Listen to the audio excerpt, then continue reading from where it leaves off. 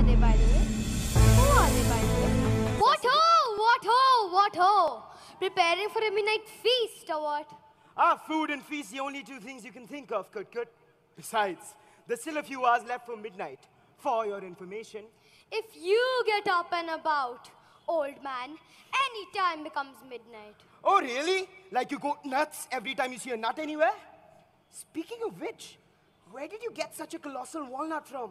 Never seen any bigger in my life before. Neither have I. And I am called the Nutty Professor by all the squirrels all across the meadows of Chiranbal. I spotted it yesterday, lying under the walnut tree by the little mirror pond on the way to the river. Tried rolling it down here, just couldn't.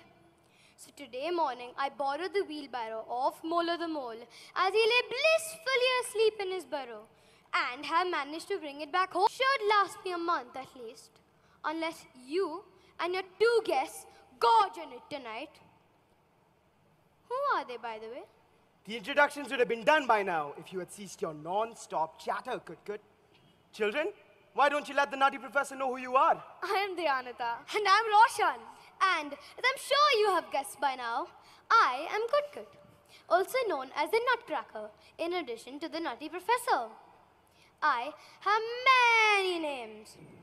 Well, now that we know each other, you can lend me your hands to unload the nut before the mole comes sniffing for his wheelbarrow. Sure, we will be glad to. No, no, no, no! Put it there, put it there! That, that, that. Get, get, careful, careful! No, no, wait! No, no, no, careful! Put, put it down, down, down, down, down! Down, down! Put it down! Down, there you go! Phew, that was a tough nut to control. Thanks for your help, not that you did much apart from poking me from time to time. Your journey awaits! But before you go, give me a hug. I love hugs.